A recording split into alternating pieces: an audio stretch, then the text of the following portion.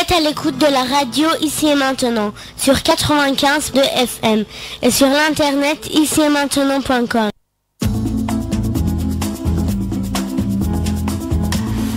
Alors, mes chers amis, les élections, oui, c'est les élections qui occupent un placement assez important. Je ne sais pas si vous savez ou non, euh, la semaine dernière, je vous ai dit qui euh, finance euh, les élections, surtout celle de Eric Zemmour, et personne n'a pas pu me répondre.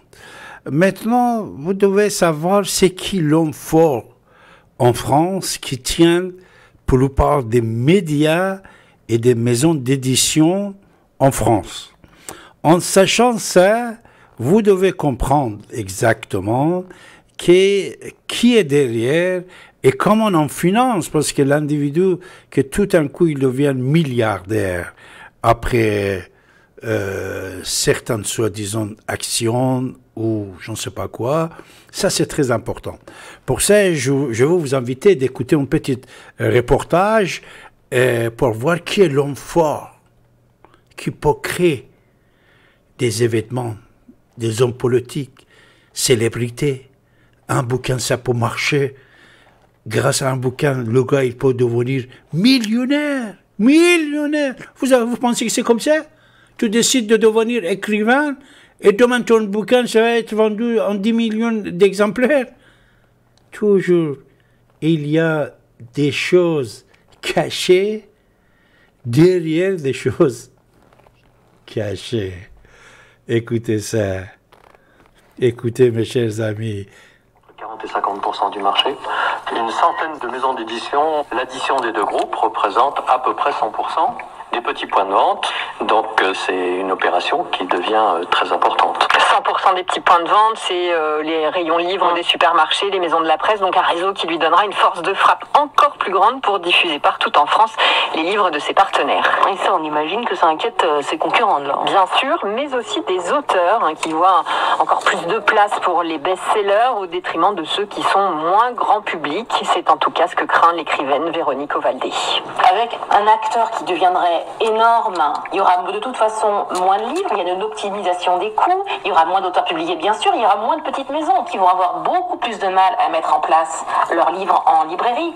Donc ça veut dire qu'il y a une proposition qui est moins, moins importante. Et du côté des libraires, bien, on s'inquiète aussi des marges qu'on pourra négocier avec un partenaire aussi puissant. est-ce qu'il y a un risque de censure des ouvrages? Alors plus que de censure, c'est l'auto-censure hein, que certains reconnaissent sous couvert d'anonymat, on va dire. On ne va pas aller chercher des ennuis avec l'actionnaire, surtout si on n'est pas sûr que le livre soit un succès de vente.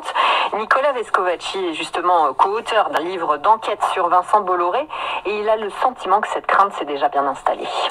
On a publié notre livre Vincent Tout-Puissant en janvier 2018. Il s'est passé tellement de choses depuis 2018 qu'on a essayé de faire une seconde version du bouquin chez Jean-Claude Lattès, notre éditeur. La réponse a été tout de suite non. Pourquoi? Parce que euh, nous avions déjà beaucoup d'ennuis euh, judiciaires avec euh, les intérêts de M. Bolloré et avec Vivendi. Donc il était hors de question de poursuivre l'aventure. Alors je précise que chez la TES, on voit les choses un petit peu autrement. Hein. Une deuxième version, calcul de sa rentabilité, c'était pas encore complètement envisagé. Parce qu'il y a d'autres secteurs, alors, d'autres secteurs d'influence dans l'édition. Bien sûr, en l'état actuel des choses, le futur groupe représentera plus de 50% du livre de poche et 70% des éditions scolaires et parascolaires. Alors certes, les éditeurs scolaires ne font pas ce qu'ils veulent, hein. ils suivent les recommandations du Conseil supérieur des programmes, mais c'est un point particulièrement sensible parce qu'ils ne sont pas à l'abri d'influence politique, rappelle Corinne Abinsour, professeure en sciences de l'information et de la communication à l'Université Paris 13 avant la Première Guerre mondiale, dans l'entre-deux-guerres, le sentiment anti-allemand était très présent dans les manuels. Donc bien sûr que les manuels sont une caisse de résonance. Si on les regarde euh, dans le temps long, ils sont le reflet de conception éducative, mais ils sont aussi le reflet de conception politique. Vous comprenez donc pourquoi nombreux sont les éditeurs hein, qui ne veulent pas laisser euh, le futur euh, groupe de Vincent Bolloré prendre trop de place dans leur marché. En attendant de connaître son contour exact le 17 février prochain, eh bien, plusieurs d'entre eux préparent déjà un recours devant l'autorité de la concurrence européenne. Et Vincent Bolloré a alors aussi un pied dans un autre secteur important pour la jeunesse. Oui, on y pense un peu moins, c'est celui du, du, jeu vidéo avec la société euh, Gameloft qui fait des jeux pour smartphone. Il l'a racheté à la famille Guillemot il y a six ans, même s'il visait plutôt leur maison mère, hein, Ubisoft, le géant mondial. Un secteur intéressant à double titre. Hein. Les jeux vidéo rapportent beaucoup d'argent, mais ils font aussi passer des messages aux jeunes. Alors nous avons contacté son équipe afin qu'il précise ses intentions, mais elle n'a pas donné suite à nos sollicitations. Vous comprenez aussi pourquoi, avec une telle place, beaucoup doutent qu'il cède son rôle d'influenceur à la veille d'une élection présidentielle. Anne-Laure l'enquête sur l'Empire Bolloré à retrouver sur franceinfo.fr. Des nouvelles de la Bourse de Paris tout de suite. Alors, Bourse de Paris aussi est très important puisque c'est grâce aux bourses, et une euh, nouvelle mondialisation, euh, c'est grâce aux bourses qui fait enrichir les gens, qui paye les gens, soi-disant, un bouquin qui vend plusieurs millions d'euros, et l'argent que vous placez dans la bourse, et euh, après quelques temps, vous devenez millionnaire, et après vous pouvez tout faire. Alors, euh, sans doute, vous savez, patrimoine de tous les candidats, ça a été annoncé. Euh, à l'époque, on disait que. Mesquine. Emmanuel Macron, qu'est-ce qu'ils avaient Petite million. Mais maintenant, Eric Zemmour, c'est un grand millionnaire. C'est un grand millionnaire. Le chiffre, je ne veux pas vous donner, allez chercher. Et surtout, qu'il a beaucoup de respect, estime pour M. Vincent Bolloré.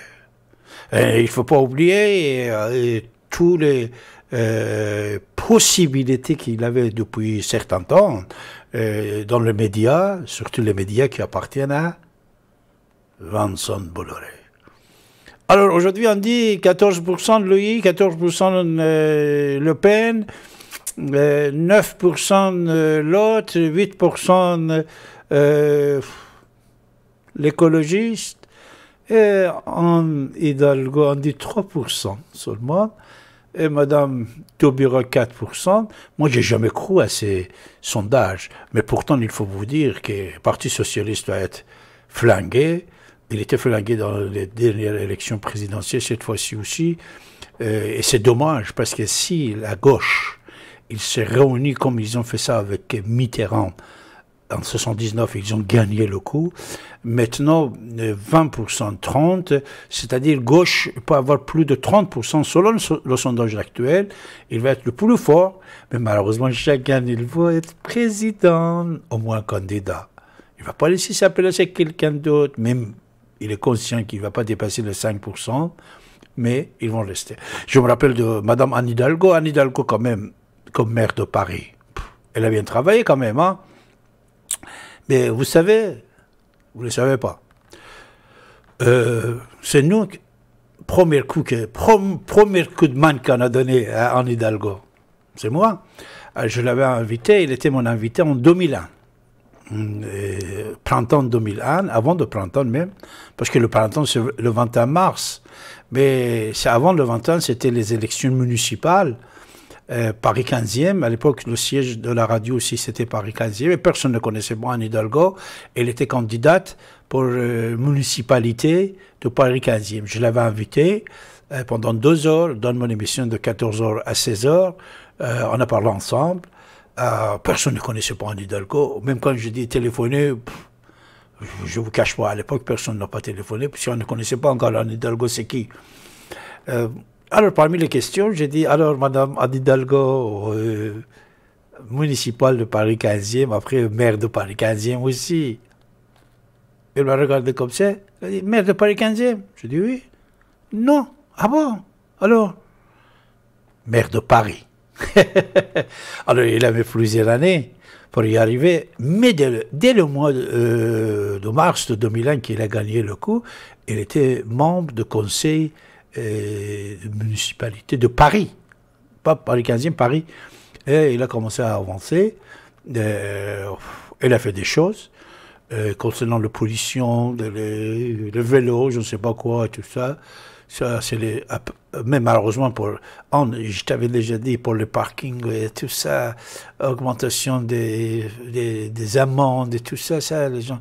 En plus, elle, a fait tout ça exprès pour que vous ne roulez pas. Euh, prenez un vélo, ou prenez, prenez transport en commun. Allez, on arrive à la fin de mon émission, mes chers amis. Euh, c'est un autre rendez-vous qui prend fin. Mais les émissions de la radio ici maintenant, ça continue. Et vous êtes très nombreux de participer euh, toute l'après-midi avec Morgan ou d'autres euh, animateurs. Je vous remercie beaucoup.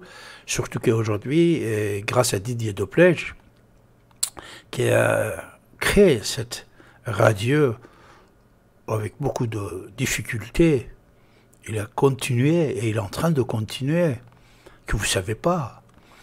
Je vais chapeau, Didier. Euh, mon cher ami, je te remercie beaucoup de la part de tous les gens depuis 43 ans presque, qui, qui t'ont écouté, qui nous ont écoutés. On a changé la vie et la pensée de beaucoup de gens. On les a ramenés vers euh, la raison, euh, vers, vers la raison, la raison, spiritualité, respect de l'un et de l'autre, être positif dans la vie et donner euh, bonne action pour recevoir réaction qui soit bonne et belle. Tout ça, c'est grâce à cette radio. Nous-mêmes, je vous dire, Didier, je vais te dire quelque chose. Nous-mêmes, nous savons ce que nous avons fait.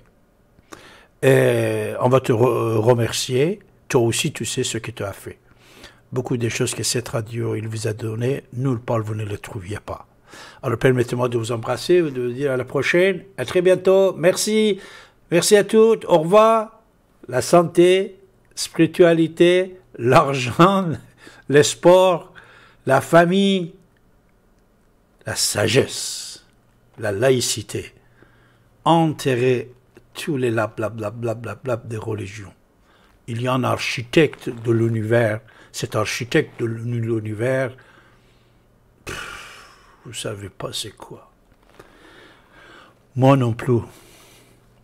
On n'a jamais su c'est qui. Permettez-moi de vous embrasser ou de vous dire au revoir. Au revoir, mes chers amis.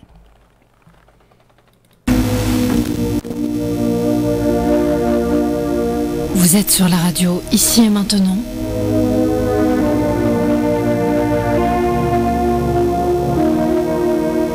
Retrouvez l'émission Soleil de Perse animée par David Abbassi en direct à partir de 23h sur Ici et Maintenant 95.2.